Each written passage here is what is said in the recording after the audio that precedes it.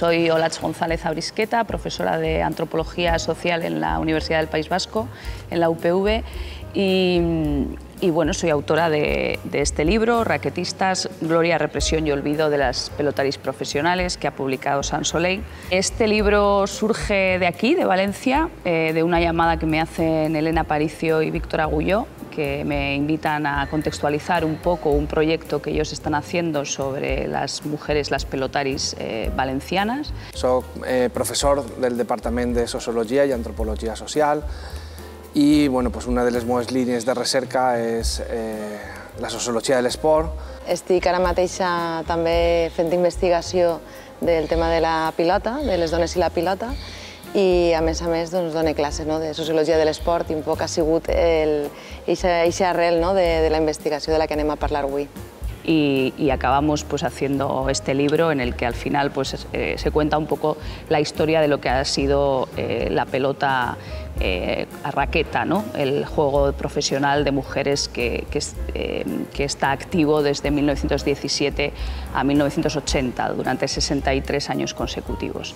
Les dones, com en molts altres camps, han estat invisibilitzades meses oblidades deliberadamente del ámbito esportivo. El libro intenta un poco revertir lo que han sido los, eh, los discursos fundamentales sobre, sobre la pelota femenina, que siempre dicen que esa fue una anécdota, ¿no? la, la pelota profesional de mujeres, que fue una anécdota dentro de lo que compone la historia de la pelota vasca. Las pelotaris constituían el grupo más grande de profesionales del deporte en España en los años 40, por ejemplo, ¿no? en los años 30 y en los años 40. La hipòtesi prèvia, que era eh, que hi hauria moltes valencianes, no? o, o principalment valencianes en el frontón xiqui, doncs no es, va, no, no es va demostrar perquè la majoria eren basques i també d'altres ciutats, no? perquè hi havia frontons per tota Espanya. Eh, madrileñas, había valencianas, había eh, salamantinas, sevillanas, eh, canarias, mexicanas también, porque se jugó también en México,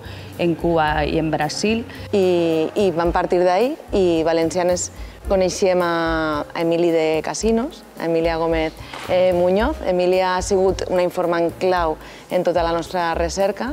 Els antecedents més recents sí que es datem, eh, com es pot constatar al llibre, a, a finals del segle XIX, quan en l'Albereda s'inaugura una gran instal·lació com és el, el High Alai. Això va ser així l'any 1897, la primera partida documentada eh, professional de eh, de pilotaris dones és, és així a, a València. Després trobem una altra gran instal·lació, eh, que és el frontón valenciano.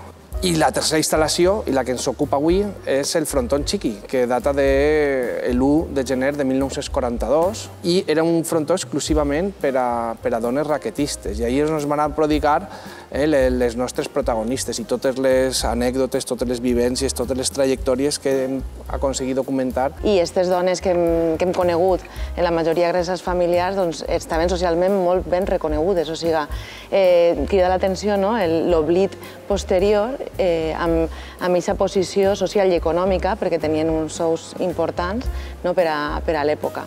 Nosaltres en les entrevistes ens interessava saber això, no? com, com compartien els pisos quan arribaven a València, no? perquè eren en la gran majoria dones molt joves, no? fins i tot algunes de 14-15 anys, fins als 20, quan van arribar, eh, com vivien, com s'ajudaven, fonamentalment aquestes dones trencaven tots els rols que tenia la dona assignada, no? perquè d'una manera o altra són dones que es van prodigar sobretot eh, en els anys 40 i 50, eh? entre els anys 40 fins a mitjans del 50. Per tant, bueno, pues tot el que elles reivindicaven era la emancipació, l'empoderament, eren dones resoltes, decidides, valentes. És un, un treball que jo penso que ojalà haverem arribat una miqueta abans per poder entrevistar a algunes d'elles eh, encara en vida. Que el deporte eh, no es eh, un coto masculino y al que se incorporan las mujeres, sino que el deporte es sobre todo un, un, una práctica humana que se practica tanto por hombres y por mujeres y que en determinados momentos de la historia se masculiniza, que busquen un poco referentes en la historia para revertir un poco los discursos